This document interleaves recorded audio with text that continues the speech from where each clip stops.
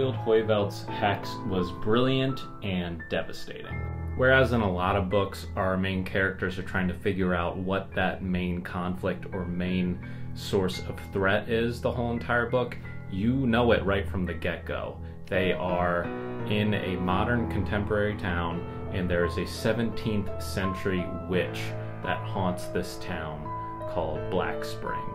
The people of Black Spring have protocols in place where they can't leave town for a certain amount of time, or else they'll feel the witch's presence and her influence even when they're gone. They have a whole sort of cover up going on. And then one day, some of the kids get restless and start to sort of provoke the witch, and things get ugly very quickly. On one page, this novel is making you feel as hopeful as can be, and then the next, it is freaking tearing your heart out. It was a very original concept, gave me Pet Sematary vibes. If that sounds like your thing, check it out.